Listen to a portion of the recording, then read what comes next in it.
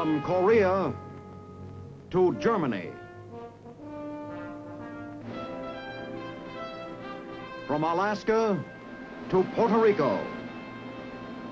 All over the world, the United States Army is on the alert to defend our country, you, the American people, against aggression. This is the big picture, an official television report to the nation from the United States Army. Now, to show you part of the big picture, here is Sergeant James Mansfield. Welcome to the big picture. Today, we bring you the story of another famous infantry division, the 7th.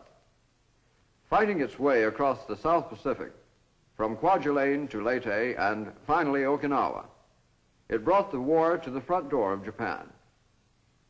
Later in the program, Colonel Quinn will review for you some of the elements necessary to effect an infantry operation such as this.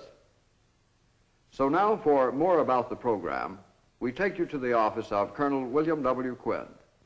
How do you do, ladies and gentlemen? On our last program, we were extremely fortunate to have with us Mr. Doug Larson of Scripps Howard and Sergeant Francis Porter of the United States Army, both noted uh, war correspondents in Korea. I'm sure that those of you who saw the program are convinced that, as I am, that press coverage of a combat unit increases its combat effectiveness and efficiency. There are other elements that have to do with this combat efficiency and effectiveness, and I'd like to discuss them with you later.